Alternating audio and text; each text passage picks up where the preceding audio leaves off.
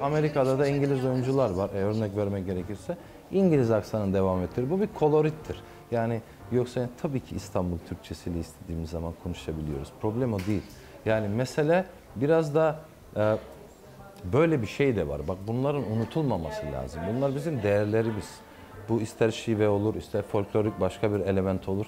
Bunları devam ettirmemiz gerektiğini düşünüyorum. Çünkü e, bakın çok şeyler kayboldu kültürümüzde eskiden olan. Kalaycılardan, bakıl, bakırcılardan tutun. Yani bu bazen şive, bazen bir eski roman, bazen eski e, yaşayış şekli, bazen komşunun kapısına çalıp küle ihtiyacın var mı demeden tutun.